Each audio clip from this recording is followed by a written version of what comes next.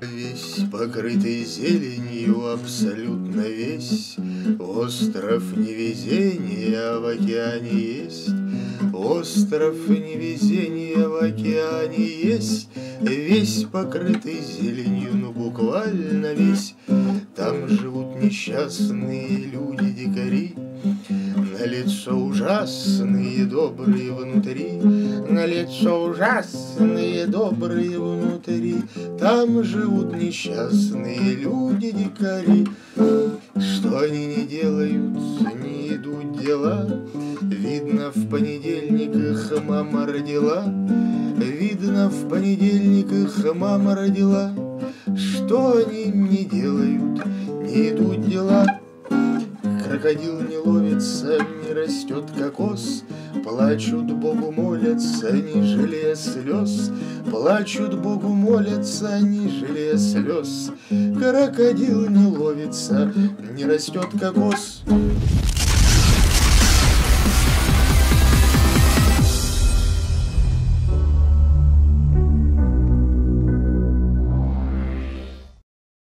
Всем привет! С вами Good Game.ru, и вы смотрите видео, посвященное одному из главных турниров новейшей истории Warcraft 3. В конце июня лучшие игроки мира съехались в Шанхай на турнир под названием Warcraft Gold League. Это, если вы вдруг не в курсе, самый важный турнир современной Warcraft сцены. Рекордный для современного Warcraft призовой фонд порядка 60 тысяч долларов, отличный продакшн и, разумеется, лучшие игроки со всего мира. Вот о них для начала и поговорим. Итак, кто же принимал участие на ВГЛ? В общей сложности 16 игроков четырех различных континентов – Азия, Европа, Северная и Южная Америка. Начнем с представителей азиатского региона, тем более обычно именно они сдают на ВГЛ тон. Infi и TH000 – китайские игроки за Альянс, каждый из которых неоднократно становился чемпионом крупных турниров. Оба прекрасно понимают игру, умеют играть всеми расами и за свою карьеру неоднократно проводили стратегические и тактические революции в игре за Альянс. Именно Infi и TH000 будут представлять Китай на финальном турнире World Cyber Games, который пройдет в Сиане в середине июля. Пятая раса Warcraft'а, он же Moon. Наряду с такими игроками, как Sky и Grubby, корейский игрок за ночных эльфов Moon является одной из главных легенд Warcraft 3. Moon известен своим нестандартным мышлением, потрясающим микроконтролем и уникальным пониманием игры. Многие считают его величайшим игроком в истории Warcraft. Lyn и Fly – крутейшие игроки за орков. Пожалуй, в истории Warcraft был только один игрок за Орду, который может посоперничать с ними. Легендарный голландец Grubby. Орки в последнее время вообще как-то не выигрывают турниров премьер-уровня, но и Lyn, и Fly обладают огромным опытом выступлений на всевозможных турнирах, а потому неизменно претендуют на чемпионство и представляют угрозу для любых игроков на любых соревнованиях. LawLiet и Фокус – китайские игроки за ночных эльфов и Орду соответственно. Оба уже давно подают большие надежды и неоднократно показывали хорошие результаты на различных турнирах, в основном, правда, онлайн. Colorful и Life – молодые китайские игроки за ночных эльфов. Да, первому из них 24, а второму 22 года, но на фоне таких ребят, как LawLiet, 28 лет, Фокус, 30 лет, и уж тем более Moon и Lyn, по 32 года, их можно считать игроками молодыми. Едва ли Colorful и Life в своей карьере считались кандидатами на чемпионские титулы, но они, тем не менее, могут составить достойную конкуренцию любому топу. Chaemiko и Sok – лучшие представители корейской школы хуманов. Да, корейская школа хуманов – это едва ли хорошая рекомендация, но если отбросить шутки в сторону, то Chaemiko и Sok – это как минимум очень трудолюбивые и упорные игроки, которые благодаря своим стараниям сумели заработать место в высшем эшелоне современного Warcraft'а. А Sok так еще и в брейкданс умеет, что вообще круто. И последний по порядку, но не по важности – это 120-й. Китайский игрок за нежить и единственный азиатский андет. Сильной стороной 120-го являются нестандартные стратегические и тактические решения. Претендент на чемпионство? Безусловно. Что касается американского региона, то победитель местной квалификации Кранчер по личным причинам не смог приехать на турнир. В результате от обеих Америк на турнире выступали Хантер, Перу, играет за ночных эльфов, и ОС, США, также играет за ночных эльфов. Так уж сложилось, что игроки из Америки считаются на ВГЛ туристами, которые практически ни на что не претендуют. И вот мы добрались до старушки Европы. На Старый Свет, как и на Америке, организаторы турнира выделили две квоты – Победителями европейской квалификации стали российские игроки Хэппи и Кэш, которые играют за нежить и за орков соответственно. И в чем-то это был неожиданный результат. Если победа Хэппи в Европе была всецело ожидаема и предсказуема, то Кэш прыгнул выше головы и в рамках региональных отборочных обошел таких конкурентов, как Хок, он же Хавк и Фогги. При этом последнего Кэш сенсационно обыграл неродной расой – хуманами. Но какие бы сюрпризы не преподнесла нам европейская квалификация, как бы мы ни переживали за поражение Фоги и не радовались за успех Кэша, самым главным событием этих отборочных стало то, что на ВГЛ едет Хэппи. Несмотря на то, что сам Хэппи позиционирует себя не иначе, как просто стример, в Европе, да и во всем неазиатском мире ему уже давно нет равных. Но вот крупные турниры Дмитрий зачастую игнорирует. Он не принимал участие в отборочных на World Cyber Games, он ни разу не интересовался предыдущими розыгрышами Warcraft Gold League, да и вообще, этот ваш большой киберспорт ему словно до лампочки. Тем не менее, благодаря стараниям своих верных поклонников, которых в сообществе называют аколитами, Happy все-таки сначала принял участие в европейской квалификации, где, разумеется, катком проехался по соперникам, а потом и приехал на main event турнира в Шанхай – Противостояние Императора и лучших азиатских игроков стало одним из самых интересных компонентов этого ВГЛ. Мы все уже давно привыкли, что в Европе Хэппи практически никогда не проигрывает. Интрига заключалась в том, насколько высок его скилл в сравнении с лучшими игроками всего мира. Картину по игрокам составили. Теперь бы еще пару слов про формат турнира сказать. Ну вдруг вы не смотрели ВГЛ и вообще человек от всей этой киберспортивной темы далекий. Ну вдруг. Только быстро, окей, хочется уже поскорее добраться до самой мякотки. По формату все просто. Первый групповой этап – 4 группы по 4 игрока, второй групповой этап – 2 группы по 4 игрока. А потом плей-офф, single elimination на 4 человек. Все, все, переходим к сути. Кто как сыграл, кто как затащил. В общем, результаты. В группе А оказались такие игроки, как Infi, LawLiet, 120 и ОС. Совершенно ожидаемо, последнее место в этом квартете осталось за американцем. Что было ожидаемо уже меньше, так это то, что из группы не сумеет выбраться Infi, но это суровые реалии ВГЛ. Один из лучших хуманов мира проиграл сначала 120-му, а затем и LawLiet'у, после чего выбыл из турнира. В группе Б выступал россиянин Артем Широбоков, он же Cash. Для него все началось достаточно необычным матчем против Орка Фокуса, где наш игрок владел инициативой, но в результате непонятным образом проиграл. Это поражение было настолько странным, что сам Фокус даже смеялся после матча, словно не понимая произошедшего. Затем Cash проиграл второй сет и отправился в лузера. В нижней сетке Cash без особых проблем одолел китайца Colorful, после чего ему предстояло сыграть матч за выход из группы. Соперником в очередной раз стал Фокус. Кэш решил удивить противника и поставил вместо орков Хуманов. И если вы забыли, то за Хуманов Кэш играет просто отлично. Увы, но даже хумановская имба, есть она или нет, не помогла Кэшу одолеть Фокуса. К сожалению, Артем покинул ВГЛ уже после первого группового этапа, а кореец Фокус со второго места прошел в следующий этап. Ну а с первого места из группы Б вышел китаец Тяж, в котором перед началом турнира видели одного из главных претендентов на победу. В отличие от своего друга Инфи, Тяж не подвел фанатов и закончил группу со счетом 4-0 по картам. В группе С играли Мун, Флай, Чаймика и Хантер. Поначалу расклад сил казался простым и понятным. Хантер домой, Чаймика поборется, но тоже домой, а Мун и Флай добро пожаловать во второй групповой этап – и если Хантер действительно быстро отправился домой, а Мун ожидаемо вышел из группы с первого места, то Чаймика Флая все-таки заборол. Какими бы интересными ни были первые три группы, но самой интригующей для нас была четвертая, группа D. Именно в нее жребий определил россиянина Дмитрия Костина, он же Happy, он же Император. В группе D вместе с Happy играли такие игроки, как Lyn, Sok и Life, Император, стоит отдать ему должное, не стал долго раскачиваться, а сразу дал жару. И в первом же своем матче со счетом 2-0 вынес Лина, который до этого считался главным претендентом на первое место в группе. Неудобный матчап? Сильный соперник? Не, не слышали.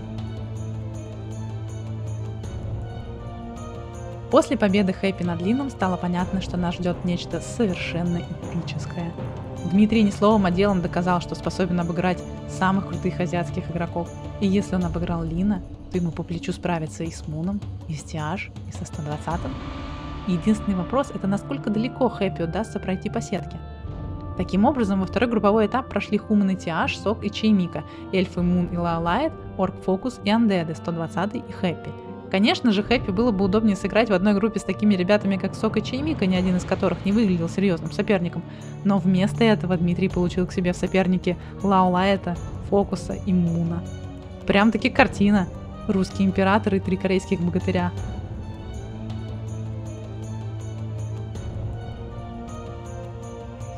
И группа началась для Хэппи не очень хорошо. Он проиграл фокусу со счетом 0-2. Несмотря на то, что Дмитрий сражался до последнего и, как обычно, демонстрировал чудеса микроконтроля, фокусу просто дико везло на артефакты, в результате чего в двух сетках подряд у него были очень мощные герои, совладать с которыми Хэппи не смог.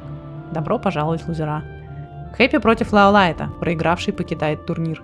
Эльфы — это вам не орки, да и Лаулайт — это не Мун. Поэтому здесь Хэппи справился очень уверенно и вышел в матч Десайдер, где его уже ждал все тот же фокус. Неужели этому корейцу суждено отправить домой и второго представителя Европы на турнире? Ну уж нет. Несмотря на то, что первую карту в Десайдере Фокус начал очень уверенно и не давал Хэппи сделать практически ничего, в какой-то момент наш император чудом перевернул игру, ухватился за единственную возможность, которую дал ему соперник и буквально на пустом месте сотворил победу. А вторая карта знаменовалась самой массовой битвой на этом турнире. Лимиты обоих игроков в генеральном сражении приближались к сотне. Эпических масштабов замес длился несколько минут, и до самого конца было непонятно, кто же одержит верх. Питлорд сплэшем убивал дохлых троллей, на разноязычных трансляциях надрывались комментаторы, Фокус сокрушенно качал головой и тянулся напечатать ГГ, а наши сердца ликовали. Победа была за Хэппи. Хэппи вышел в топ-4 турнира, и это было уже гораздо больше того, что от него ожидалось большинством болельщиков. Но аппетит, как известно, приходит во время игры. С одной стороны, было понятно, что Хэппи уже снял все вопросы и доказал, что входит в число лучших игроков мира. С другой стороны, с другой стороны, хотелось еще больше, и Император дал нам это больше. Первый полуфинал Happy против TH000. Лучший игрок за нежить Запада против лучшего игрока за Альянс Востока. Первая карта вышла очень напряженной, и в какой-то момент казалось, что Happy одержит верх, но TH000 все-таки задавил массой. Сердечко у всех почитателей Happy ёкнуло, но то было только начало. Тиаш и не думал сбавлять обороты, и на трех последующих картах использовал очень нестандартные маршруты крипинга, благодаря чему получал преимущество по прокачке. Пару раз китаец также ставил экспанд посредине игры, надеясь тем самым либо закрепить преимущество, либо вернуться в игру. Но Хэппи блистал. И как обычно тащил за счет прекрасного понимания игры, грамотных тактических решений и, разумеется, великолепного микроконтроля. Во втором полуфинале Мун обыграл 120-го, и этот сет, наряду с полуфиналом Хэппи против Тиаш и последующим финалом, стал одним из лучших матчей турнира. Этот поединок – прекрасная иллюстрация того, насколько гениальным игроком является Мун и насколько сильно он при этом иногда косячит. Тут даже можно сказать, что в полуфинале Мун играл против двух соперников, одним из которых был 120-й, а другим он сам. Но, к счастью для поклонников Луналикова, все обошлось. И Мун против Хэппи. Финал Warcraft Gold League. Думаем, не будет преувеличением, если мы скажем, что это самый интересный и интригующий финал за последние несколько лет. Да, в финале этого турнира раньше играл и Фоги, но никогда еще не было такого сильного ощущения, что на ВГЛ впервые может появиться чемпион из Европы. Никогда еще, как бы просто стример, не доходил до финала настолько престижного турнира. А дальше был совершенно потрясающий финал – Финал, в котором оба игрока в полной мере продемонстрировали свой гений. И если в играх против Тяж микроконтроль Хэппи был великолепным, то в финале он стал просто божественным. Да что мы тут говорим? Смотрите сами. Козел падает! Хорошо! Единственная возможность, за которую можно было зацепиться, Хэппи, Хэппи цепляется за нее. У панды есть инвул, панду можно не отпустить! Панду можно развести на инвул и преследовать ее. ДК очень битый, ДК еле-еле убегает наверх. Блин, панда... Нет, ДКу, да контроль, да контроль, ДКу! Инвул на дыке, регенит кое-как. Тинкер сейчас, скорее всего, умрет. Панда телепортируется домой. Тинкер, скорее всего, умирает. Нет, он на 16 хитах убегает. Какой валидол. И остается вся эльфийская армия без героев, а мы тут кое-как отковыриваемся. Четвертый ДК, Лича, Лича бьют. Coil на Лича, ну Лич пулеметит, съедает. Нову кидает медведей. Откидывается. Прекрасно, 40 лимита на 60, нас по-прежнему значительно меньше, но козла-то нет, козла-то нет, и панды нет, тоже рядом, козла выкупили, козел возвращается назад. А, Свиток прекрасный, блин, от козла. А, что же делать? Что же, блин, делать? Level up, четвертый ДК, панда битая, инвула нет, GG! Один-один! Один-один! Ё-моё! Хороший койл, минус арча. Идет в атаку. Что будем? Нова. Ища! Офигеть. Начинается битва, иллюзии демонхантеров, фокус сразу по, по козлу, убили одного ферика, отконтроливается финт, отконтроливается сразу обсидианка дестройер, в это время ловится и фокусится еще один ферик, и еще один ферик. Какой контроль? Мун даже не успевает их форму при, превращать, Моноберн получает лич, Э, очень битый ДХ, там есть став, став на последних хитах, конечно же, это Мун, но 50 лимита на 39. Ф Ферики ничего сделать не могут. Пятый лич уже, пятый лич, ГГ, 2-1! 2-1! Виспы в обход, видя, где скелет разведывательный, как же грамотно сейчас действует Мун. Все или ничего. На низинах он решил выбрать самую агрессивную. Аколит идет читать Виспов. Ё-моё, такая разведка от Императора. Он допускает, и он видит Виспов. Да! Это такой, такой, такой плюс. Ему он сейчас так вздохнул, вы видели? Обсидианка еле-еле... Не, не, не уходит. Третий level, третий level деки. 56. Алхимик ловит... Это космос просто, космос. Какой же контроль сумасшедший. Гули, смотрите на каких хитах.